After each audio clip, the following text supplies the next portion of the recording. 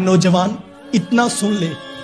जन्नत के आठ दरवाजे हैं, जो कभी खुलते हैं, कभी बंद होते हैं। एक तोबा का दरवाज़ा है, जो कभी बंद नहीं होता। वो खुला हुआ है। उससे माफ़ी मांग, वो तुझे माफ़ कर देगा।